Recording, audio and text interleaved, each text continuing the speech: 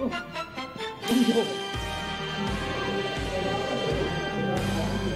check.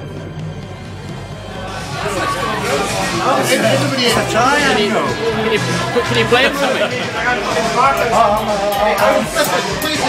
From the cricket program.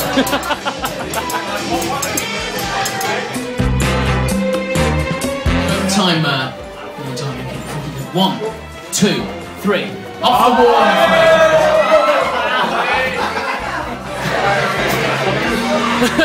Defeated the football challenge, Stuart.